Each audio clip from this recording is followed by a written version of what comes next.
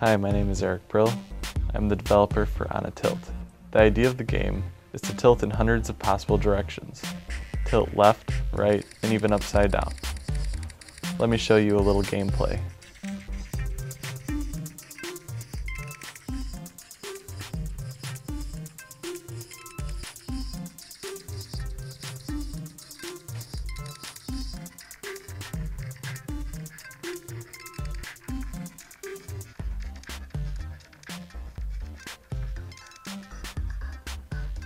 So you get the gist of it. I hope you enjoyed watching. Check it out in the App Store.